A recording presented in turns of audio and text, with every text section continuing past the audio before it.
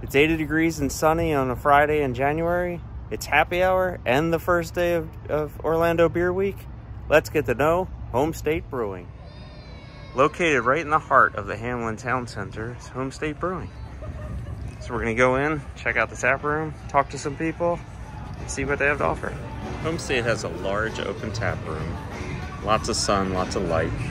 You got a full menu that you can choose if you want appetizers or full full entrees. Uh, you see they have a wide selection of beers and seltzers, outdoor patio covered, uh, blinders to block the light. On the afternoons and evenings, they'll have live music. Sometimes they have comedy events. Um, and then on Saturdays morning, you can have brunch. You see, I got a small selection of beers here. And we're going to try those in a minute and give you a review on those.